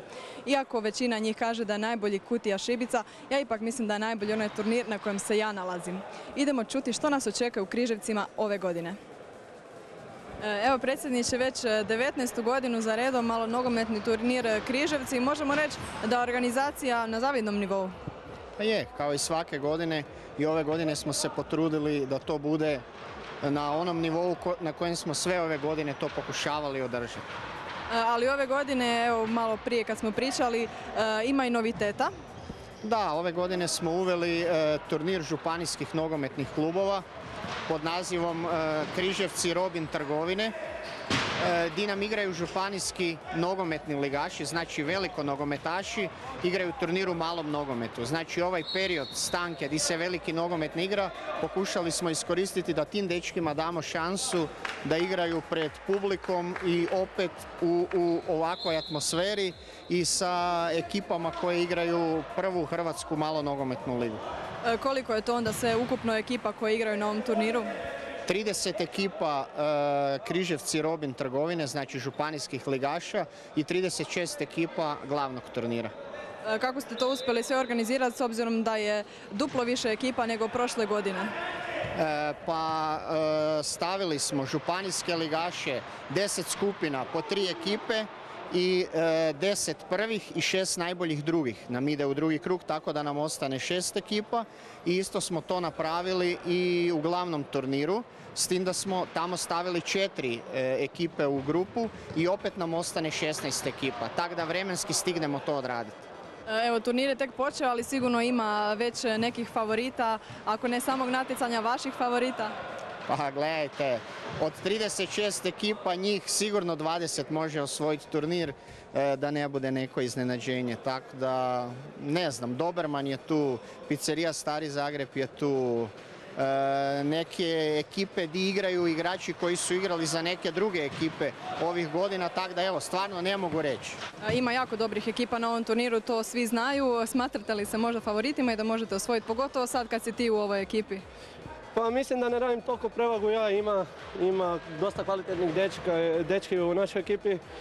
Igrali veliki, mali, igramo zajedno već par godina, ali evo, prvi put smo se okupili pod jednim imenom, te mislim da možemo svima pomestiti račune, a naravno da bi volili osvojiti. E, puno još ostalih turnira igraš, naravno igrači nacionala. Kako stvari stoje sad u nacionalu ove sezone? Evo, završili smo upravo jučer pol sezonu, izgubili protiv Splita idemo smiriti glave te 21. počinju pripreme. Vidjet ćemo kakva će biti ekipa te nastaviti pohod na sezonu i na prvaka naravno. E, ujedno si je reprezentativac naravno. Kako je stanje u našoj reprezentaciji u malom nogometu? Pa sve u redu mislim. Evo ispali smo sa europskog što nije bilo očekivano. Ali nastavit ćemo isti rad e, sa treninzima, sa sa trenerom svime, svako u svojim klubovima sad dok nema okupljanja, te nadam se nastaviti što bolje u budućnosti da ne bi bilo ovakvih aj neću reći ispada ovakvih izgubljenih tekmi na važnim, na važnim natjecanjima. Hvala ti puno. Ništa, hvala vama.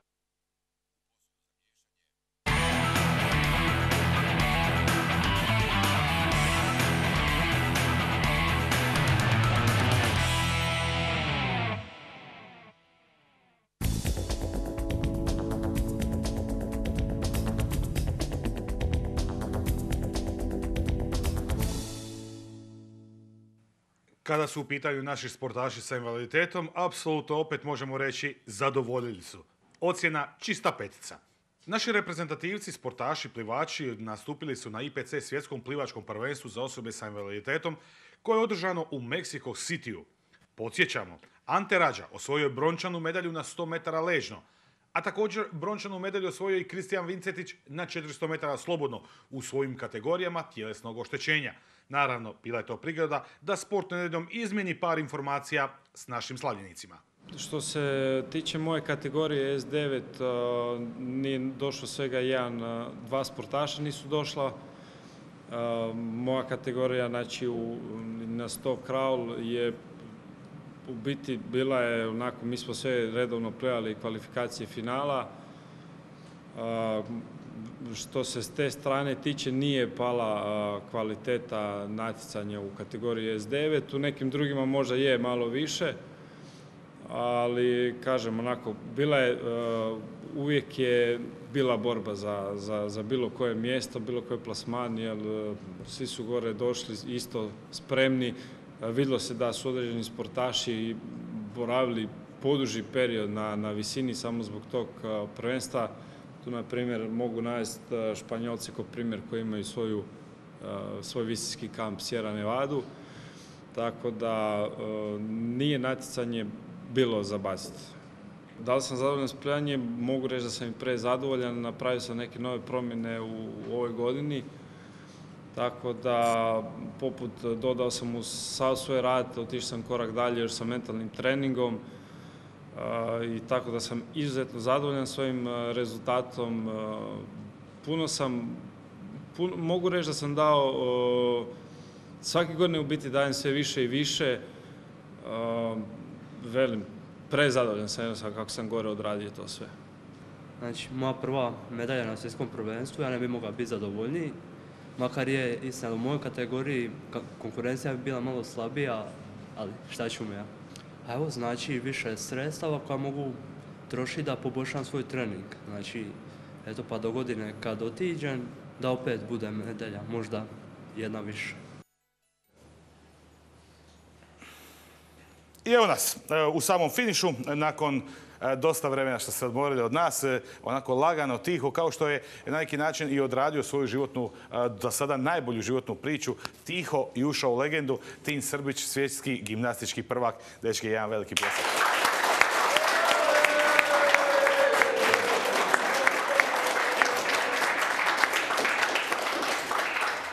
Tin, hvala ti lijepa na dolasku. Onako vrlo kratko, evo ovo naše blagdansko vrijeme koje ide, adventsko vrijeme. E, kako provodiš to vrijeme? Je li, jesi aktivan? Pa evo prije svega da pozdravim vas ovdje i sve gledatelje. Pa da, u ovo, doba ja sam aktivan, ja treniram svaki dan koji, koji uvijek, koji prije svjetskog prvenstva, koji kad sam se vratio, tako da to je sve ostalo isto. Fakultet, treninzi, prijatelji, to je to. E, Tim, sreli smo se i ovaj tjedan u ponedjeljak na trgu kad je bila dodjela nagrade najboljim sportašima grada Zagreba. Evo dobio si tu nagradu ove godine, osim naravno od, odličja na svjetskom prvenstvu. 2017. za tebe je stvarno ono, zapamtit godina. Pa je, evo, mislim, to, to svjetsko prvenstvo i to zlato je došlo stvarno jako rano. Imam 21 godinu tek, tek napunjenu, imam još, još barem 10 godina karijere ispred sebe. I, i naravno poslije tog su sad došli sve te neke nagrade i priznanja koje, koje mi naravno puno znači i lijepo je, lijepo je to sve primiti. Da, godina nije mogla ljepše završiti i nadam se da će ih bar biti još, još par takvih. Na početku godine si bio u, emisiji, ja sam vodila razgovor isto s tobom. Jel mogu ja uzeti malo onak zasluge pa da smo ti i mi dali sport nedeljom vjetar u leđa za sve ove nagrade? Pa, pa mislim, naravno, svi, svi koji su koji su bili tu uz mene su pomogli, tako da zašto ne i vi.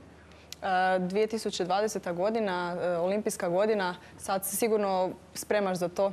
Da, pa to je... Ali još imaš sigurno puno natjecanja do tada? Moj imam... ali milijun. Sve mora osvojiti, naravno. Jako puno natjecanja do tada, ali to je, to je moj cilj od, od kad sam ušao u dvoranu. To mi je ono, najveća želja nastupiti na olimpijskim igrama, tako da zapravo moja, moja priprema, moji treninzi i sva natjecanja prije olimpijskih igara i prije kvalifikacija uopće za olimpijske igre su bazirana na tome da, da se fokusiramo baš na to na, na te kvalifikacije i nadam se da, da ću to uspjeti ostvariti. E, Šta te onda prvo čeka u novoj godini? U novoj godini ja ću tek negdje u trećem mjesecu ići na svoje prvo natjecanje svjetski kup u, u Katru u Dohi. E, a naravno najveći izazovi svake godine su Europsko i svjetsko prvenstvo, tako da i 2018. u 8. i 10. mjesecu, ali da si uzeo tu malu pauzu, ajmo reći, poslije svjetskog prvenstva od tih 5-6 mjeseci da, da uvježbam neke, neke nove elemente i nove stvari koje bi još, još ubacio u svoju vježbu, da, da to bude još bolja izvedba, tako da nadam se da ću na, na tim europskom, europskom i svjetskom prvenstvu biti opet konkurentan. Znači, stalno si u pogonu, nema kod tebe odmora Je se uopće. šta promijenilo od e, onog trenutka kad si osvojio zlato? Pa, pa mislim... Osim što si pod svjetlima reflektora stalno. Pa dobro, i to koliko sam ja pod svjetlima reflektora sam, ono, bio sam tih prvih dva, tri tjedna i onda... Ali sport nedeljom ne zaboravlja kao Pa što da, evo, vidiš. na kraju E, sam tu. Samo da se pamti i zapiše. Ovaj, pa, pa da, mislim, to što, što si rekla Tina, ja nemam odmora, baš ja sam dva, tri dana poslije svjetskog prvenstva možda se odmarao. Odmah sam otišao nazad u dvoranu baš iz tog razloga jer su me jako ovaj, mediji ono, pritisnuli, bilo mi je previše toga pa sam otišao u dvoranu malo da se ispušem od toga svega, da. Odlično. Tin, e, praktički sve si rekao. Sljedeći prilog koji slijedi e, ide u prilog e, nagradama grada Zagreba. E, naša, naš glavni grad e, zahvalio je zasluženim sportašima za proteklu godinu. E, Jedan od njih je i naš današnji gost. Tin, hvala ti lijepa na, na razgovoru. Onako, e, zaista puno ti sportske želj- e, sreće želimo. Imaš li neku poruku našim gledateljima ovako za kraj, za ovo božićno, novogodišnje vrijeme? Pa hvala na, na željama. Pa poruka moja gledateljima je jednostavna. Želim da svi u životu rade ono što vole i, i želim da želim svima sretan Božić i sretnu Novu godinu i da im se ostvare evo, svi, svi snovi i sve želje. I sada, pljesak! Tim, hvala ti lijepa na dolasku u emisiju. Puno sreće želimo, a e, sad što smo rekli, idemo na jedan prilog, sjajan prilog sa trga Bana Josipa Jelačića, točka na i, by Vlado Turković i nagrađivanje. Ovo predbožićno vrijeme grad Zagreb je 42. godinu za redom dodjeljuje najboljim sportašima nagrade. Ko je bio najbolji sportaš, sportašica, ekipa i momčad ove godine, saznajte u nastavku. Sportski savez grada Zagreba tradicionalno istekom godine proglašava najbolje pojedince, sportaše, momčadi i ekipe. Ove godine laureata je bilo mnogo. Podijeljeno je ukupno 77 nagrada, a najveći dio odnosio se na mlade sportašice i sportaše, čak 55. Dodijeljeno je šest nagrada sportašima s invaliditetom, šest godišnjih nagrada, tri za trenere, a proglašeni su i najbolji sportaš, sportašica, ekipa, posada i momčad glavnog grada Hrvatske. Aktualna olimpijska pobjednica u bacanju diska šesti puta za redom i sedmi ukupno najbolja je sportašica Zagreba. Tako je dostigla Janicu Kostelić, koja je također sedam puta slavila u svom gradu. Sandra Perković ove godine osvojila je naslov svjetske prvakinje te postala pobjednica Dijamantne lige šesti puta za redom. Za najboljeg sportaša u muškoj konkurenciji proglašen je gimnastičar Tin Srbić, svjetski prvak na preći te drugoplasirani u ukupnom poredku svjetskog kupa. Pa ništa, evo imao sam možda dva, tri dana poslije kad sam se vratio iz Montreala. Sad treniram isto koji prije, nekad malo čak i jače i to je to. Samo idem, idem dalje istim, istim tempom. Najboljom momčadi proglašeni su košarkaški prvaci Hrvatske osvajači Hrvatskog kupa košarkašice Devite. Dok je nagrada za najbolju ekipu pripala osvajačicama Europskog Challenge kupa, rukometašicama Lokomotive.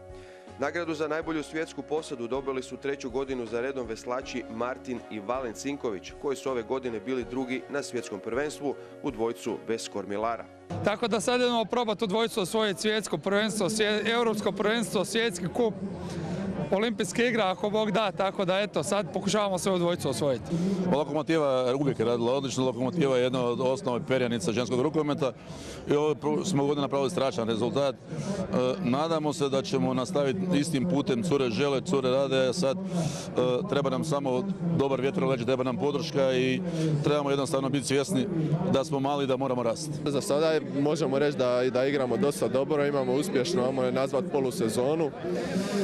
Međutim sami znamo da se prave stvari događaju malo kasnije, tako da tu formu koju u zadnje vrijeme prezentiramo moramo zadržati i nada se da ćemo na istom nivou igrati kad, kad se stvarno to bude brojalo, znači za kraj ABA lige i nadam se kraj Eurokup. Nagradu za najuspješnije trenere dobili su Lucijan Krce, Edis Elkasević i Pero Kuterovac, a ove godine i posebna priznanja primili su Janica Ivica Kostelić za doprinos zagrebačkom sportu i promociji grada. Evo Ivica, nikad nisi zapravo rekao da si se prestao baviti skijanjem, da je to gotovo za tebe, tu si uvijek negdje okolo, pa šta nam radiš ovih dana? Jučer sam se vratio sa na jednog natjecanja, u Sankt Moricu sam bio na svjetskom kupu i uskoro opet odlazim na svjetski kup, tako da sam uvijek e, negdje na stazi ili blizu staze. Ali imali smo dobre rezultate u, mogu reći, zadnja dva desetljeća i mislim da ćemo i dalje imati e, vrhunske skijaše u svjetskom kupu, a to je ono što je dobro i važno je da dalje proizvodimo kvalitetne skijaše.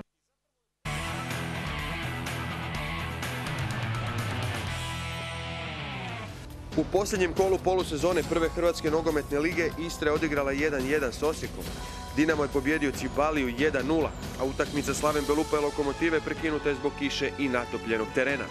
Madridski Real obranio je naslov prvaka klubskog svjetskog prvenstva, a naš Luka Modrić izabran je za najboljeg igrača turnira igranog u Abu Dhabiju. U domaćem košarkaškom derbiju Cibona je izgubila od Cedevite 84-81, a u 12. kolu regionalne ABA lige Zadar je na Višnjiku skinuo lidera prvenstva Budućnost voli rezultatom 78-69. Vaterpolisti Dubrovačkog juga sladali su Splitski pošk 18-6 te su se plasirali u finale Kupa Hrvatske u kojem će se za trofej boriti protiv Splitskog Jadrana koji u polufinalu bio bolji od gradskog rivala Mornara. Hokejaši Medvešćaka poraženi su u Lincu od drugoplasiranih Black Wingsa nakon raspucavanja penala rezultatom 4-3 i trenutno su sedmi. U susretu 11. kola regionalne Seha lige rukometaši PPD Zagreba su u Varaždinu sladali Tartan Prešov 32-26. Nakon što je na 200 metara leđno osvojio peto mjesto, Anton Lončar je na plivačkom mitingu u Kopenhagenu na 100 metara zauzeo 17. poziciju. Lorena Jerbić bila je 43. na 50 metara dupinom i stilom, dok je Filip Zelić zauzeo 45. mjesto na 200 slobodno. I za kraj Borna Ćorić trebao bi prijeći u tabor Ivana Ljubičića i Rikarda Pjatija, koji bi svojim iskustvom trebali dati kompletnu trenersku podršku mladom tenisaču.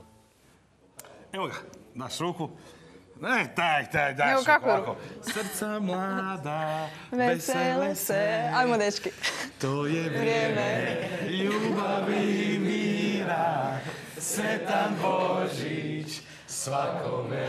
Poštovani gledatelji, došli mi do kraja 499. izdanja, a mi naravno e, već nekoliko tjedana, zahvaljujući našemu partneru Krašu, imamo zaista bogatu trpezu, kažemo tako, poklone za naše e, starije pionire nogometnog kluba Trešnjevke, našeg Milkija, e, koji ih onako uspješno vodi. Hvala lijepa na dolasku. Tina, možeš slobodno polako dijeliti. Evo ja ću se pridružiti jedan poklon našeg partnera Kraš. Poštovani gledatelji, vidimo se gdje smo, tu smo. Za tjedan dana u isto vrijeme budite s nama. Na sam Badnjak radimo pravu special edition priču sporta nedeljom. Ko će biti sve na proslavi naše 500. emisije imat ćete prilike vidjeti za tjedan dana. Do tada ostanite zdravi, veseli, lijepi pozdrav i neka vas Bog čuva sve. Lijep pozdrav! Oje! Evo.